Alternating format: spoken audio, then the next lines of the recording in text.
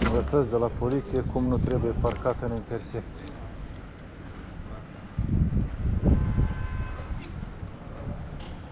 Strada Brezoianu cu intrare Rigas.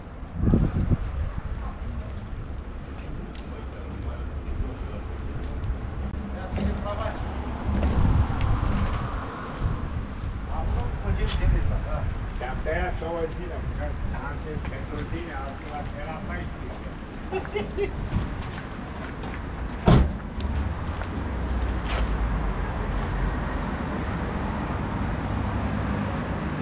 Ambele mașini de poliție staționează greșit și periculos.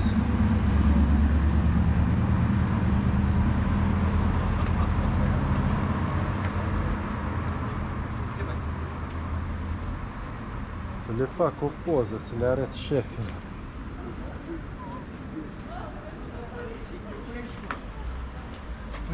Să ne dau,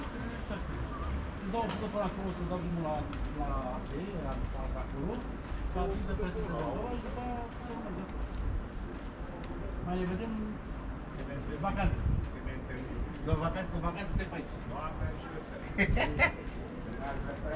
Mai ne.